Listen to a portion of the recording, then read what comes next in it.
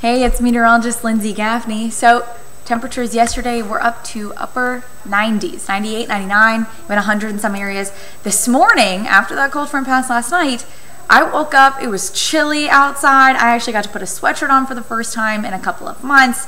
Temperatures got up to upper 80s, low 90s today, and they warm up slightly tomorrow, low 90s, upper 80s again though.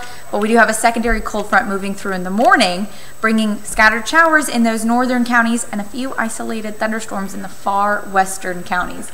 Those are going to continue to the Joplin Webb City area, mostly just an isolated shower by then, by mid morning.